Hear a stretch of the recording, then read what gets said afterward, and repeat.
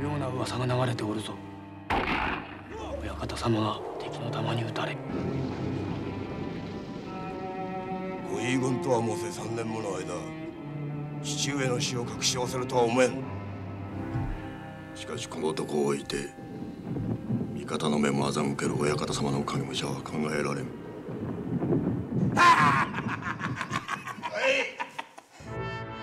影武者の時折のことな。ら務まるでもな上す幕なしにやらせれちゃあれがもたね